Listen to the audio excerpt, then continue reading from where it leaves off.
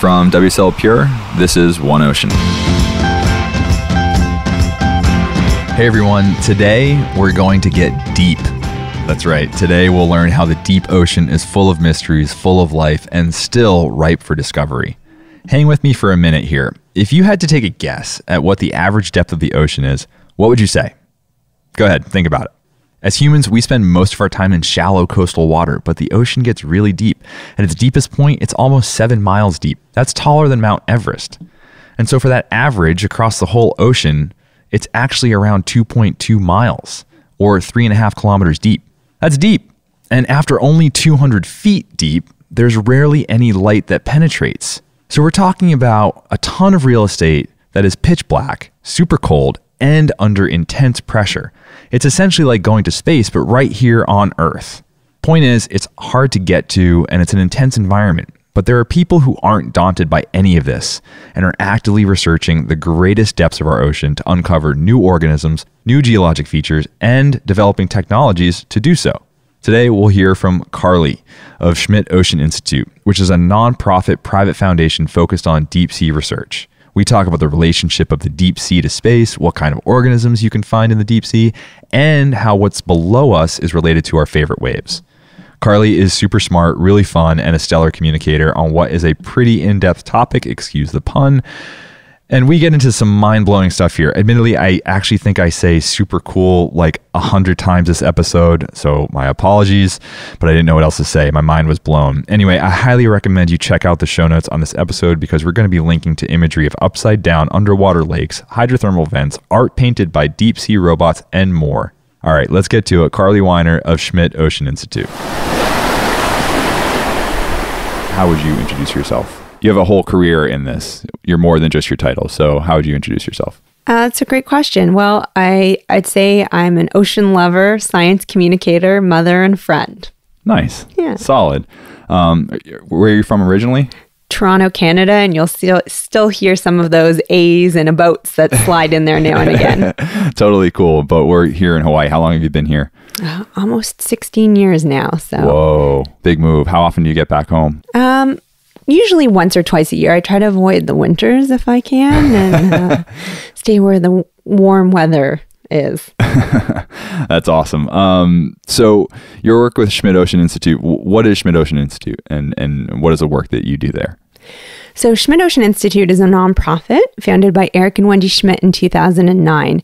And essentially, we have a research platform, uh, Falkor, that travels around the world doing cutting edge ocean science. And it's pretty fantastic. It's got state of the art research and uh, research equipment and allows scientists to be able to explore our oceans, not just on the surface, but from surface to deep seafloor. That's super cool. Um, we're gonna we're gonna dive in there, and you mentioned Falkor real quick. Somebody uh, my age might remember the reference to the Never-Ending Story. So, the, this is the ship, correct? Yes, not the Flying Dragon. so, but so, so, your research vessel is named Falkor. It is, and in fact, it's actually named after the Luck Dragon from the fantasy novel or the movie. If you were an '80s kid, the Never Ending Story. And, and interestingly enough, on Falkor, we have a workboat and a safe boat named Atreyu and Auryn. And our ROV, so our submersible, is named ROV Sub Bastion, which is sort of a play on words for Bastian, the main character. That's amazing. And is that just a passion of the Schmidts, or is that was there intention behind that in terms of communications? Was it to to do something different and break through? Well, it, it was intentional. Um, Were you a um, part of the naming? I was not. Oh, okay. uh, Eric and Wendy, uh, that was a family book that they really enjoyed reading to their children. Interesting. So they just loved the name and thought it was fitting. Yeah. And actually, on the walls or the halls of Falkor, there are some quotes from the book that are very applicable to what we do. Very cool. Mm-hmm. That's amazing. So tell me more about what, what you do. Tell, tell me about this work because I feel like it's so important and yet most of us have no idea really how to translate it because it's like you got on this crazy research vessel in the deep sea and it's cool but why does it translate? So uh, one of the things that's really unique i think is that we're not out there just doing research but we're communicating about it and sharing the work that we're doing with the world. And it's often work that people don't think about in their daily lives, but is so critical. I mean, we're looking at not just sea surface, but all the way down to the seafloor. And so exploring some areas of the ocean that most people will never see and bringing light and perspective to that. So you can follow some of our work that we're doing and be able to go explore hydrothermal vents or deep sea mounts with coral reefs that you didn't even know existed at these depths. I mean, for some people, what is a hydrothermal vent? Really quickly, what is a deep sea mount? So uh, that's also a great question. Most of most of our listeners are probably surfers, I'm assuming, and most of us spend our time at the surface. Uh, so we're, we're not deep sea. So let's start at what, the, what are we missing? Yes, let's start at the beginning here. I mean, if you're sitting on your board in between a set looking out at the water, you might be wondering what's underneath the water, and, and you're familiar with um, the shallow corals, probably either from a reef cut that you've had when you've eaten it on a wave, or um, you know some of the what we call coral reef environments, but there are corals that extend deeper than human capabilities can go. And that's where technology comes into play, where after you hit some of the diving levels, you can look at submersibles, underwater robotics to explore these environments. And we have corals that amazingly can survive in very low light, colder waters. And as you go even deeper, because get, normally, so sorry, just to make sure we're getting all this. So normally corals are in that sort of first like 30 meters or so, right? We think of them as being shallow water to get sun for photosynthesis, right? Exactly. If you're thinking about your traditional stony corals or bright colored corals, as you go deeper, you get these unique corals that are adapted to these different environments. And in fact, when you see coral jewelry, which, you know, isn't really uh, something cool. we want to be promoting. Absolutely okay. not. But the coral that people wear is some of those deep sea corals. You get whip corals, bamboo corals. So some of these deeper corals that exist in environments that we can't see or that we visit ever or very often. Interesting. Very cool. And how are they surviving down there? Do we know? Well, they're adapted for these environments. And so we still don't know a lot about these deep sea corals in what they call the mesophotic zone or the mid-water zone. Um, so you're we'll thinking mid-water zone. Yeah, yeah. We're not we're not talking shallow and we're not talking super deep here. But these corals, what some of the scientists that come on Falkor do is try and understand their connectivity. For example, we had a expedition this past summer in the northwestern Hawaiian Islands or the Papahanaumokuakea Marine National Monument. Wow, you're good at nailing that. I always struggle to say experience. it. I always struggle to say it. Okay, one more time. Papahanaumokuakea. How many times can you say it quickly? Uh, let's not try.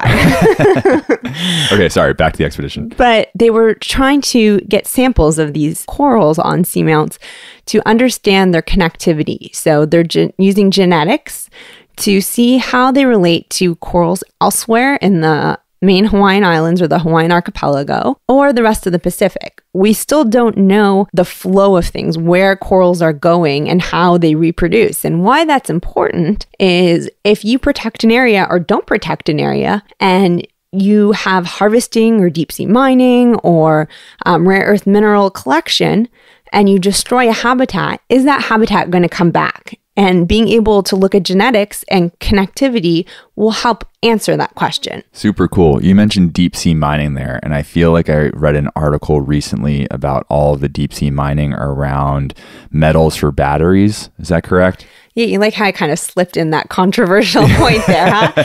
sorry, sorry to pick up on that one. Uh, but yeah, it's it's an important topic. It is an important topic, and um, yeah, batteries, cell phones primarily. They people we, we all have one or two of those. We do, and people are looking to the deep sea as a possible resource for some of these earth minerals needed for batteries and such. There hasn't been a lot of that that's gone on so far. However, there are several communities and islands in the Pacific that have created permitting systems to allow that to to happen. And what a lot of the science community wants to know is how is this going to impact these deep sea environments that we don't know a lot about. And not to confuse it, it doesn't have to do with corals per se. It has to do with some of these manganese nodules you find on seamounts or some of the minerals coming from hydrothermal vents, was something I mentioned earlier. And hydrothermal vents are actually cracks in the bottom of the ocean where hot water is coming up and mineral deposits start to happen and you develop these chimneys essentially with hot water that's meeting the ocean water. And you get an entire ecosystem that's developed around these hydrothermal vents that actually use the chemicals instead of light to produce food and energy. So instead of, you know, the traditional photosynthesis that you think about in terms of light and energy, it's actually using chemicals in a process called chemosynthesis. I won't say that again, I promise. um, so I remember this from my childhood because I'm I was very fortunate growing up on Cape Cod and being near Woods Hole and Woods Hole Oceanographic Institute and all the research that went on down there. Dr. Robert Ballard doing you know uh, research with Alvin and then the Jason.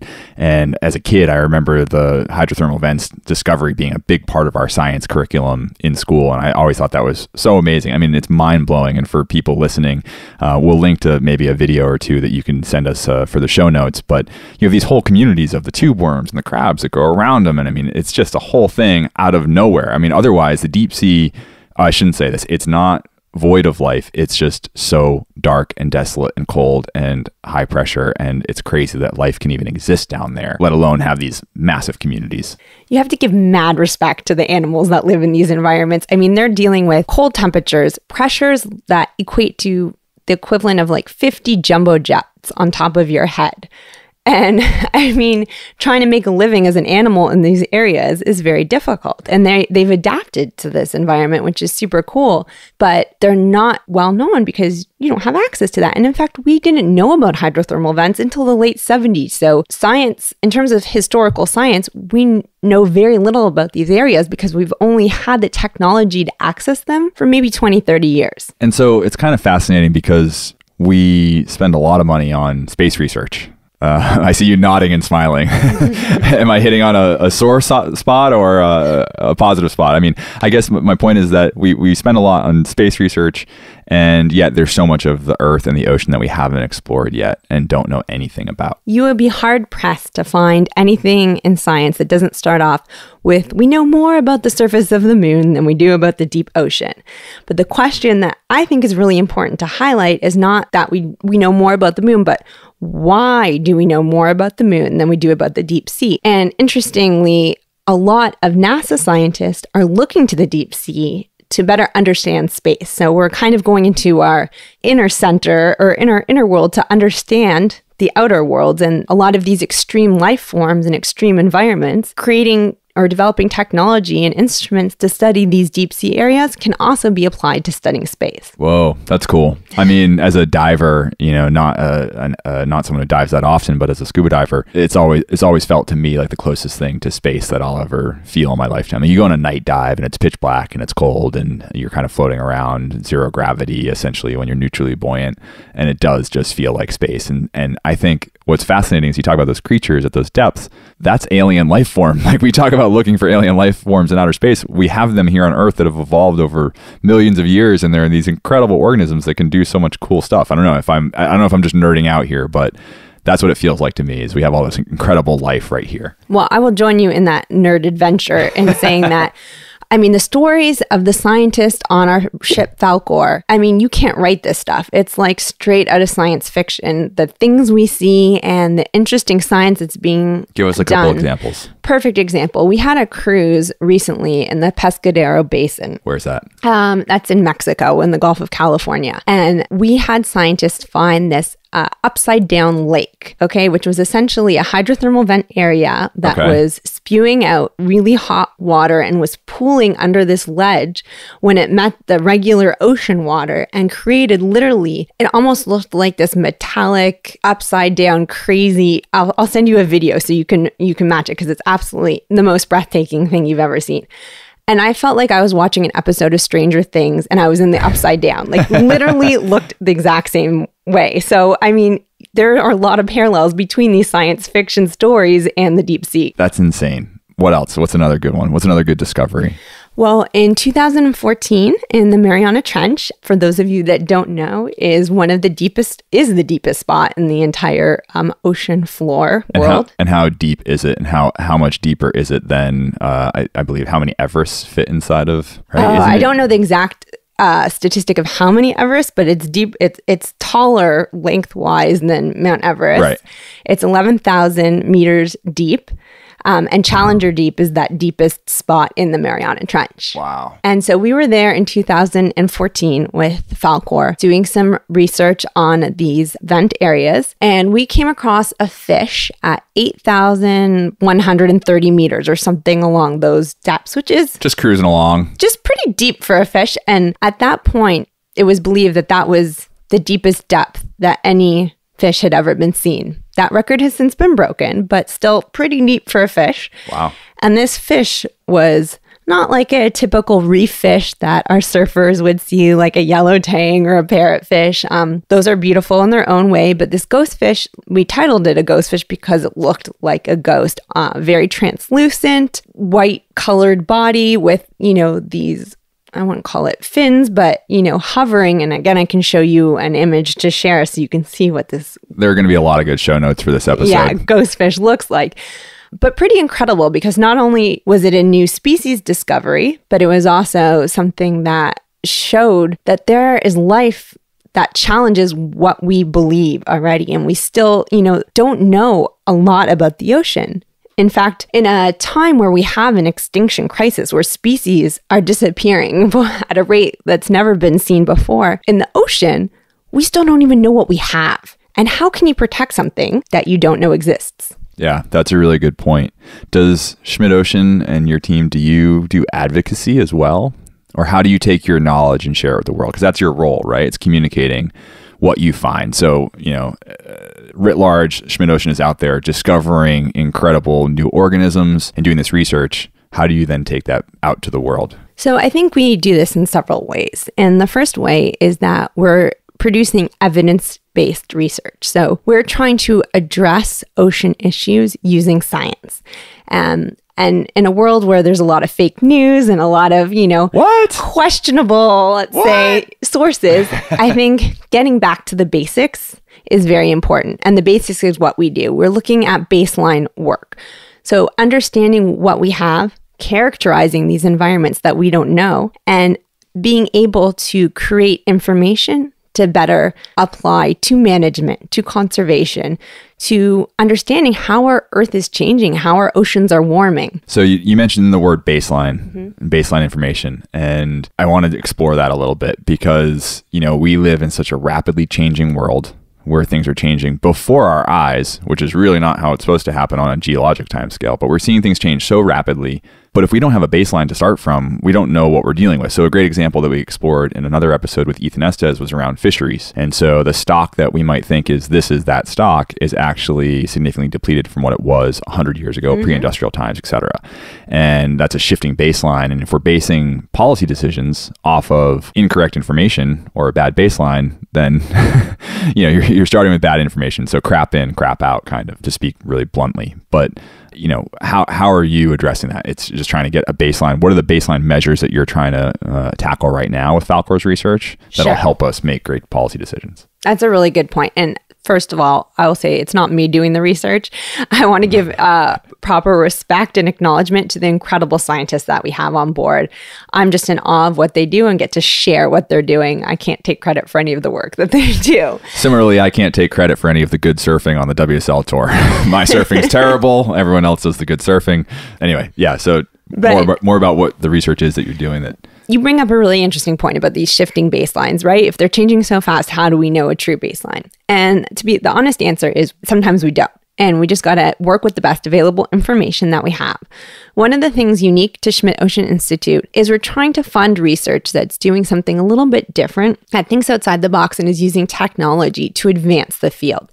So, looking at ways of being able to characterize the ocean or get these observations on a faster, less expensive, broader scale, which is really important because the ocean's pretty big and there's not enough people to study it or enough ships to study it. And so we've brought on to our ship a lot of scientists from around the world that are developing tools and unique ways to explore using technology. So swarm robotics, which basically means having multiple different underwater robots to characterize and adapt themselves in real time using artificial intelligence to kind of look at what they're studying and ad- adapt in situ or in real time to get the information that we need. So that is something that's going to really change the field of oceanography, speed up the pace, allow us to be able to capture those baselines at a point where at least we're getting it now before it changes, you know, more significantly. The other thing that's really Hang on, interesting. can we go back into the swarm robotics? Because in my mind, I go to like YouTube videos I've seen of these little drones that swarm around and actually just make me really scared for the future of these little robots that can swarm like bees and and and solve problems and things. Are you talking about little like, mini submersibles that can actually operate on their own? Because many current submersibles are all tethered, right? So this is where we get into the AUV versus ROV. Um, so I don't want to get into the weeds and get too technical here. Okay. ROV is a remotely stands for remotely operated vehicle, and that's something that's tethered to a ship with an umbilical. So in understandable language, basically there's a cable that runs from the ship to this robot that goes underwater and it provides it with electricity and communication so that people can drive or pilots are on the ship moving this ROV in the water around so they can do sampling, do video. Um, SuBastian, which is our ROV, goes to 4,500 meters depth on Falkor, has two robotic arms, and is very modular so that each science party that comes on the ship can adapt it for what they're doing because we don't do the same science twice. So like adapt the arms, like literally go go gadget, sort of swap in tools or or what? Uh, yes, and more. so we actually have had scientists where they've tried new hands essentially on those robotic arms to capture or to sample species that are a little more delicate. So we had a group that used something called the squishy fingers, which were essentially like sponge fingers that would term right grab, yeah, this the, the the samples that they were looking for. But also so that you can have different sensors that you can add and remove on the vehicle and things like, you know, taking core samples from the bottom of the ocean. So, you know, those sediments, the muds, what bacteria, what minerals, what things are living in there. That's an area that people study. You wouldn't even think to you know, look there. Water sampling. So just even knowing the chemical components of what's in the water. So cool. Hey, a quick break from our conversation to give a shout out to Outerknown. They sponsor this podcast because they care about the ocean too. That's shown in their clothing, which is all made from organic cotton, recycled and regenerated fibers, doesn't use a lot of water in the process or dyes, and is made by people who are paid a fair wage. I love their stuff. I'm rocking an Outerknown t shirt that my wife gave me right now. It's super comfy, stylish, durable, and I feel good knowing that it was made responsibly. Outerknown was actually founded by pro surfer and 11 time world champion Kelly Slater, who was determined to create a clothing company who made clothing responsibly.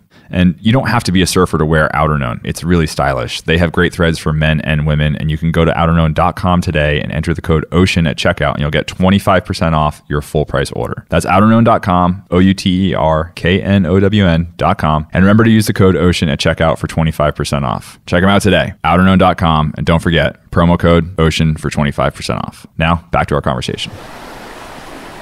You were going somewhere else before that. Yeah. Um, I'm gonna I'm gonna take us in all different directions here, but I promise I'll always come back. Um, so the other thing that's really neat in terms of talking about baselines is scientists can actually look into our past. So um, they're time magicians, if you will, um, being able to take drowned corals or old coral skeletons, and just like rings of a tree that you count to, to do aging, you can look at historical sea level, or you can use radiocarbon data to understand chemical components of the ocean 25, 50 years ago. And so you're able to look backwards with some of the samples that we do and collect. And in fact, we have many scientists that come on the ship that do this. That's so cool, and it's so important to to understand where we've been, right? To get back to that baseline. You know, one of the coolest experiences I've had in this journey, being a part of WSL Pure, is uh, getting to go to the Lamont Doherty Earth Observatory. Oh, yeah. And um, Dr. Peter deMenocal is one of our, you know, kind of board members and supporters for Pure. And I got to see uh, they have the Earth core samples. I mean, they have I don't know, I think it's almost 100 years of Earth core samples, thousands of them taken from around the world. And you get to see like geologic time in these Earth core samples, and they can understand all the layers, you know, of these two meter samples from everywhere. And I just kind of, I just remember that experience being so powerful. And I was kind of blown away by looking at that. It was really cool to make it visible. And so it was very tangible. So I guess my question to you is how in your role are you communicating this out to the world? How do you communicate this really sciencey work? And how do you get it out to people to understand? Um, now, obviously, you can do that. You know, in the government level, you're trying to influence policies. You're just trying to get that message through. But are you doing more outreach to the broader public and, and you know how do you get them to care and understand we get a chance to work in some of the world's most remote areas doing research that a lot of people don't get to do. And that's important to be able to share it with the communities globally, but also the communities where we work. And we try really hard to do that by offering tours of Falkor. So when we come to a community, being able to bring people on board so that they can see the tools that we're using. We can talk about the science and engage them in that tangible way that you talked about, where you can really feel it and see it and understand why it's important. For those that can't come on board, we try to bring the expeditions to them. And Schmidt Ocean Institute is not unique in this. There are several exploration groups that do this work where we live stream our dives with ROV SuBastian. So you can so see cool. literally what the scientists are seeing in real time. So, like the ROV that's deep underwater, 4,500 meters deep, is live streaming to the world so you can see what you're doing. You literally can go out surfing on the surface of the water and then come back shore, turn on YouTube, and be able to see 4,500 meters down from that and, and look at these crazy, unique life forms that you wouldn't be able to see anywhere else. That's so cool. It's so cool. So, how often do you do that? It depends on the science that we're doing on Falkor. As I said, every expedition is different, but I would say we do that pretty often. We're averaging eight to nine expeditions per year. Every that's that's not insignificant. It's not, and we try to be as productive as possible with Falkor. So we're out doing research as much as we can, and all of our dives are live live streamed. So we SuBastian we built in 2016. It was designed and built in house in just under two years, and since then we've had over 300 dives. So we, it, you know, we've done a lot in, in the wow. last couple years. Wow, that's so impressive. I mean, because these are these are very expensive, I imagine, pieces of technology that you're building, and it's not trivial to put them together and put them out on a serious dive. It's not, but the reward is so important in, in what we're collecting, and also allows scientists who maybe don't get the opportunity to go out to sea to be able to use that footage. Um, we try to double down on that footage that we're getting, so that not only the scientists can use it, but students can learn from it, make yeah, it available you you to release anybody. It all right, you, it's all public. That's so cool. I think it's it's great that you make that public and, and, enable people to leverage it for whatever message they want to use, which is really cool. The other thing that I do think makes us unique is we have a dedicated multimedia correspondent on every expedition that we have. And essentially what that is is someone who can help tell the story, who's collecting video footage, who's collecting imagery of the science that's taking place so that the scientists can focus on the science. And that person takes interviews, we put them together, and every expedition we do, we have a weekly video that shows you what's happened that week on Falkor. You know, really focusing on the science, the technology, and why it's important, why people should care. Super cool. Now, what about the artist program? Yeah, let's get into that. Let's do it. let's do it. So this is a true passion of mine. I absolutely love this program that we have and and it, I think it's one of the most unique programs um, that's being done right now. It's an artist at sea program where we bring artists onto Falkor and consider them part of the science party. So they're there working alongside of the scientists, even though they have no research experience whatsoever, but learning about the science and having the scientists explain to them in a way that they haven't had to do before. And what's really special about it is we've had feedback from scientists after participating at sea with these artists saying, you know, this was such a great opportunity. It really made me think about my science in a different way. It allowed me to uh, have a bit more creativity in the work that I'm doing. And it's a pairing that you would think is unlikely, but there's actually a lot of commonality between scientists and artists in, in what they're creating and how they're thinking about things. And so it's a really interesting pairing and way to communicate the science in a approachable way that will engage a whole new different audience. That's so cool. So, uh, you know, I've seen some of the works that have come out of this. Some of them you literally have, didn't you have one person try to paint with the arm of one of the ROVs? Yeah, we had an artist Lily Simonson who does deep sea painting. You know, she she does a focus on deep sea organisms and actually used the arms on SuBastian, our ROV, to paint imagery of what they saw in the deep sea. And so she's essentially driving the ROV then to paint, right? Yep. That's so cool. Yeah. How'd it come out? It turned out really, really well. Actually, all of the art that we create on board um, is put onto our online gallery on our website, on the Schmidt Ocean website. And we have all different types of artists doing unique things. We're not just trying to pigeonhole one type of artist. We've had composers that have taken data and made um, new arrangements. We've had fiber artists uh, yarn bombing Falkor and doing uh, the first crocheted CTD data set. I mean, we've got uh, everything yarn, that you can imagine. Yarn bombing is a term I didn't know until five seconds ago. It wasn't a term I knew either until this artist came on board. I'm going to do a deep dive Google search on yarn bobbing later. um, so, what are some of the challenges of your work? It sounds really cool. It sounds awesome, super fun. You have a great passion for it. What are the challenges of this of of the work of this research and of your role in it? I think quantity is the biggest challenge to all of it in terms of there's so much to do there's not enough time to do it all um, not just for me personally but for the the earth you know? There's so much to understand and explore and you know science that needs to be done. And you don't have enough resources and time to be able to do all of it. And i think that's the challenge we all face it's funny. I recently was at the Pacific Marine Environment Laboratory and working with NOAA, and it was a stakeholder meeting around their next five year plan. And you had all these different scientists and nonprofits and groups who leverage that data. And they were asking for our input on, you know, what are the biggest priorities? What data do you need? What, how can we help you do more?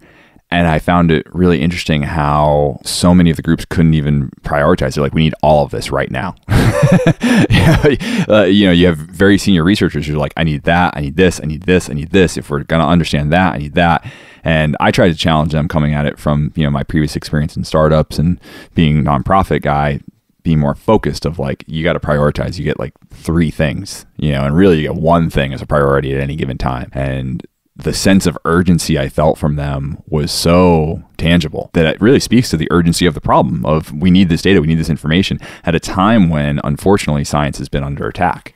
I would say that's absolutely true. And the sad truth of the matter is, it is urgent time, and there's multiple needs that are taking place. We're shifting, we're changing our planet at a pace that is unprecedented, and we don't really understand that impact. And how do you communicate that? And how do you share that in a way that's going to motivate people, but not scare them enough that, you know, they're just going to be like, well, it's hopeless. Let's, let's walk away, call it a day, and sorry for the next generation, you know? And I think that's also the biggest challenge to science, science communicators. We walk this fine balance between conveying hope, but also being realistic about the problem. I think that's a really, really poignant statement right there. The balance between hope and being realistic.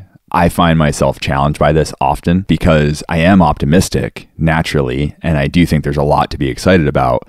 But you can't ignore the reality of the situation. And it's this fine balance. But if we're to engage more people in our movement, we want them to know that there is something they can do and they can be a part of this. And so we have to be optimistic. We have to remain, you know, vigilant and courageous.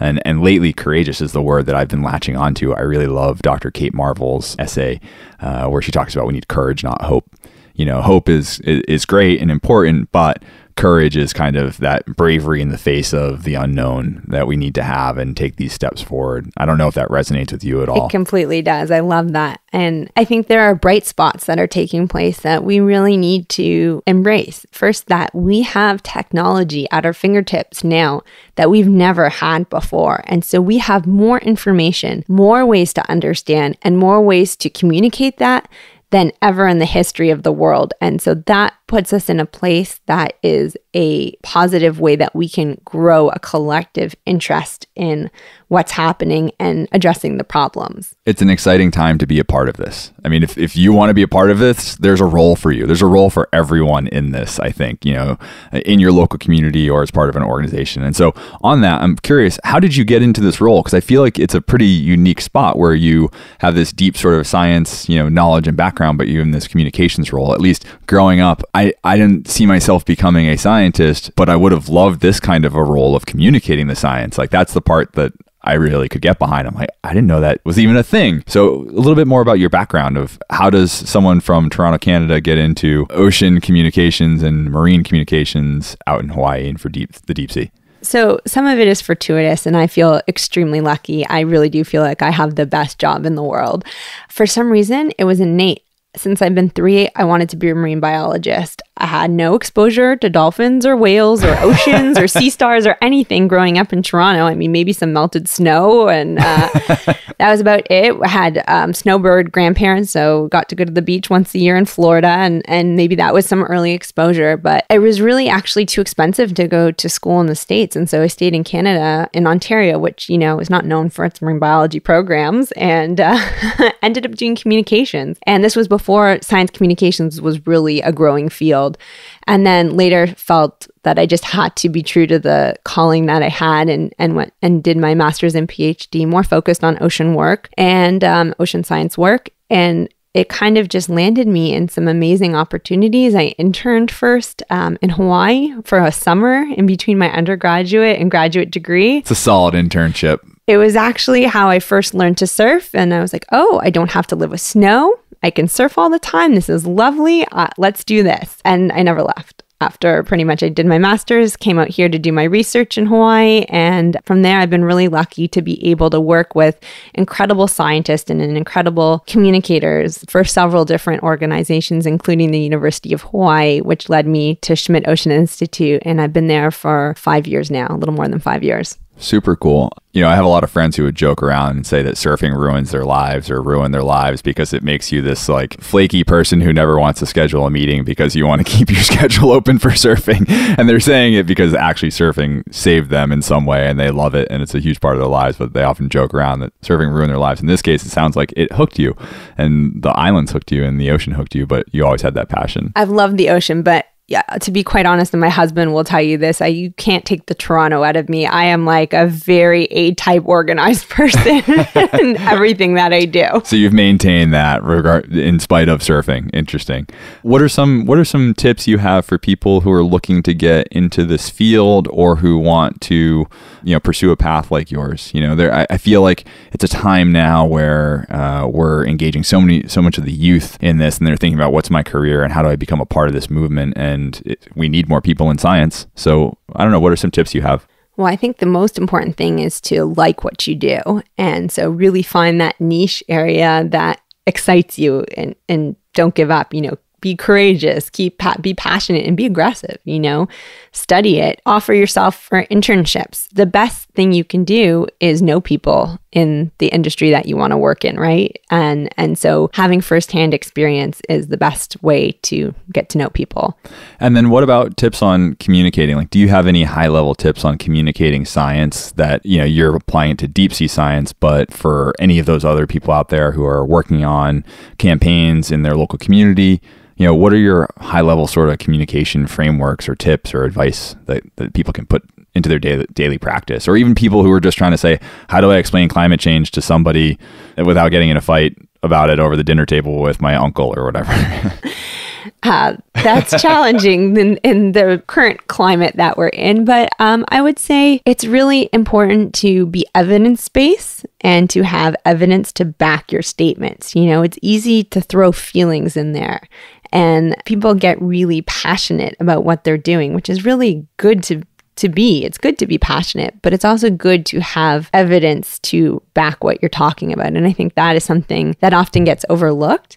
And to also connect with people on ways that is going to make them care. You know, we every science project that we communicate, the first question we ask is why should we care? Why is that important? Why is someone farming in the middle of Nebraska going to care about the deep sea and the ocean? We have to make those connections. And I think that is um, the most critical piece to science communication is making people care. And why does that farmer in Nebraska care? Well, um, it depends on the expedition, but if we're talking about the oceans in general, I mean, the oceans are responsible for half of our oxygen. Most people think, you know, okay, trees are important, which they are, but the ocean produces more oxygen than trees. Do you like eating fish? Do you like food? You know, some people in North America, it's not going to affect them that much, but there are many people all over the world that rely on the ocean as their primary protein source. At the current rate we're fishing it, there's not going to be a lot of protein for people in the future. And so that's another reason why we should care. Yeah, I mean, I think I'll I could stop at oxygen every other every You other like breath. every other breath pretty important. I think that's a good reason for everybody to care, but I also think, you know, for those living inland, the Nebraska farmer, for example, you know, the ocean regulates our weather. Let's speak to our audience. You like surfing? You like the ocean? Yeah. Currents are really important. Coral reefs are really important. These are all things we need to take into consideration. Yeah. Now, do you surf much still? Quite You're- honestly, you're, pretty busy. You, you also you're a mom. I will say my surfing has taken a brief hiatus uh, due to a very demanding two year old and job, but it's something that I would love to revisit soon. And my love for the ocean still remains very strong, and I'm able to get in the ocean where I live, which I feel very fortunate to do.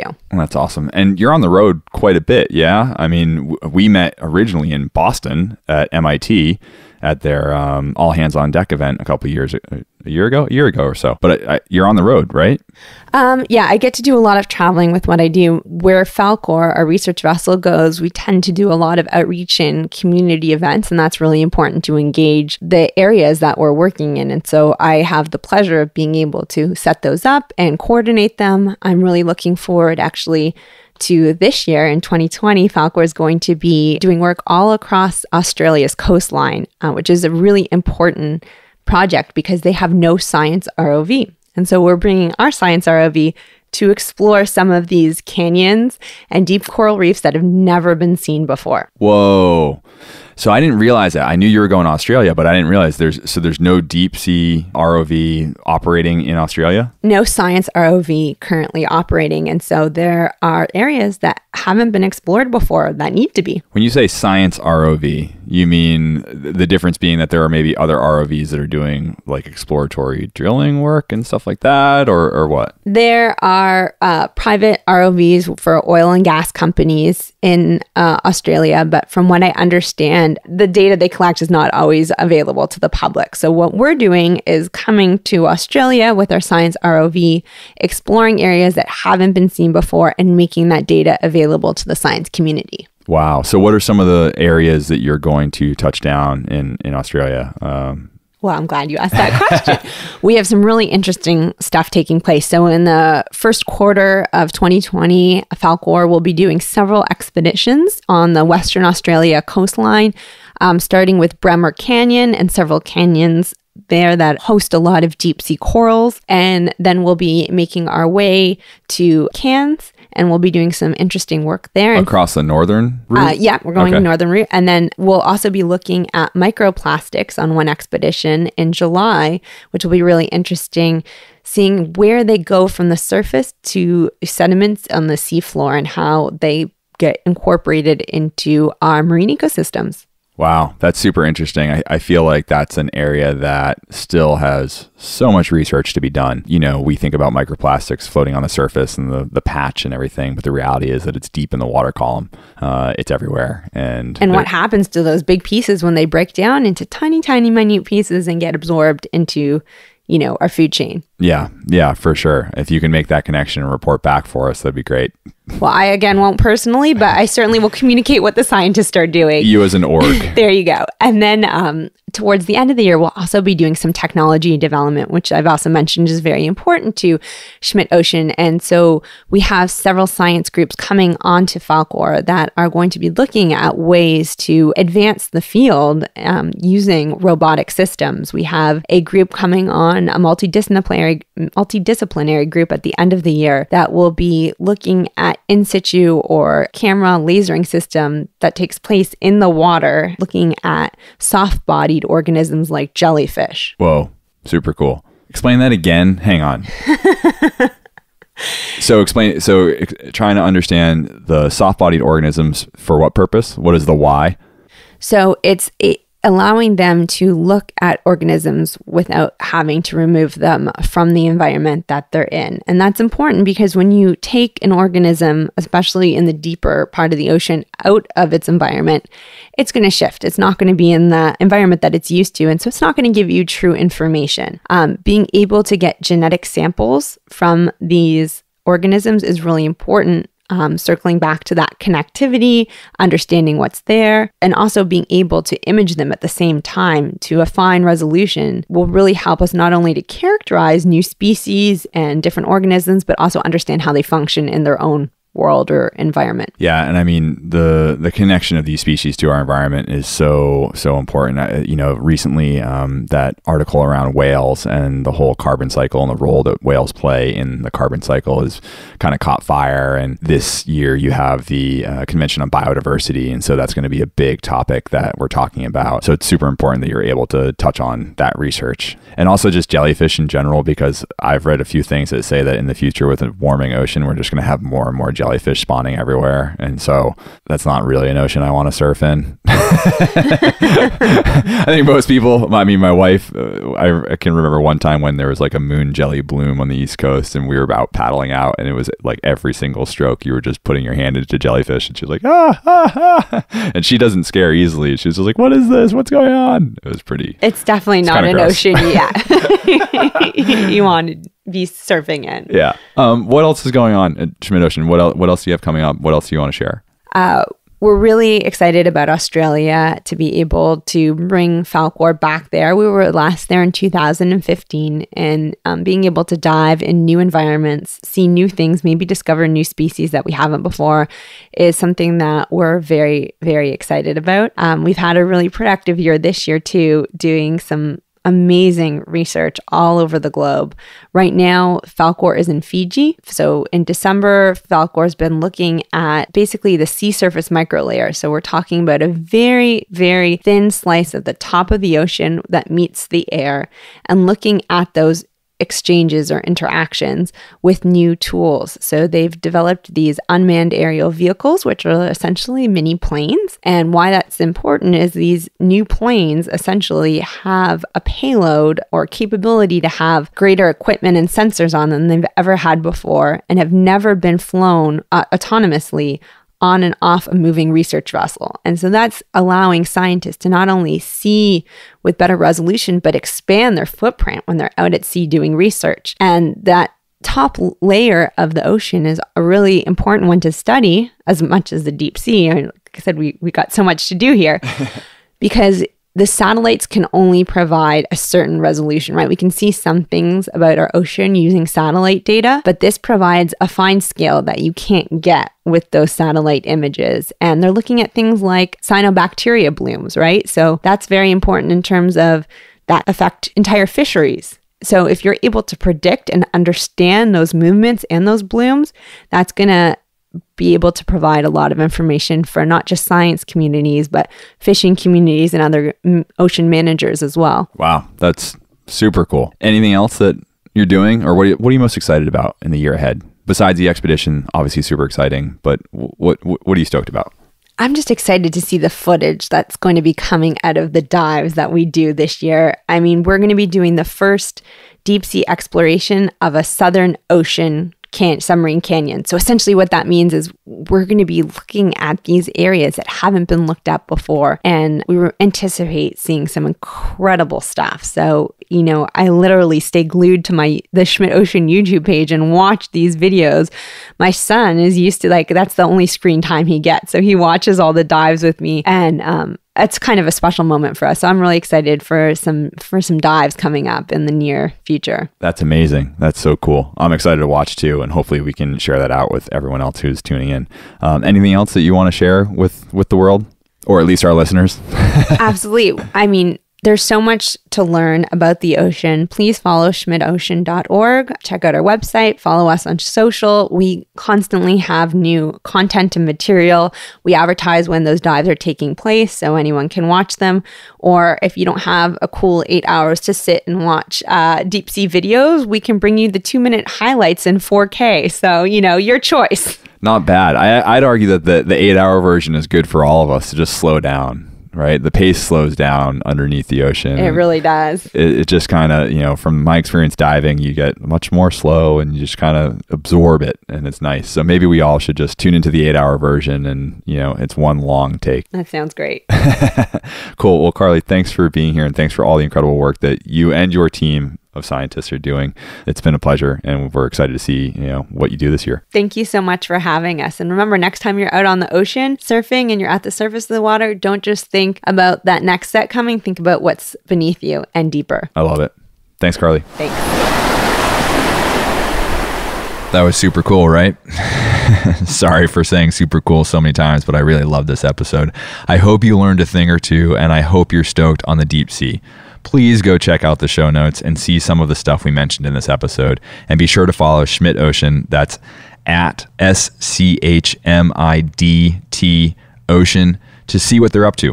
They do really important research that helps inform all of us out here trying to protect the ocean. So, thank you to all the scientists spending months at sea for this work. And thanks again to Carlie for taking the time to share with us. And thank you for listening. If some of this blew your mind, be sure to share it with a friend or leave us a review. Find us online at WSL Pure or email us at oneocean at WSLPure.org. And uh, until next time, thanks.